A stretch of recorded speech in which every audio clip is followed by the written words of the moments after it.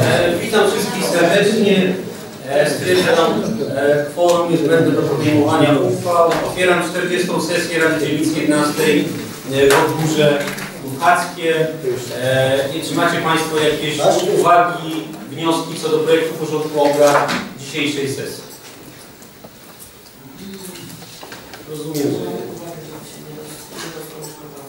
Deus